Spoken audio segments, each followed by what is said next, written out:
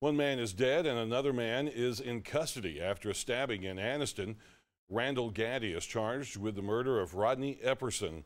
Officers found Epperson dead last night inside a home in the 1700 block of Wilmer Avenue. The victim had multiple stab wounds in his back and was pronounced dead at the scene. After talking to witnesses, police arrested and charged Gaddy with the crime. Police say they will release more information about this case once their investigation is complete.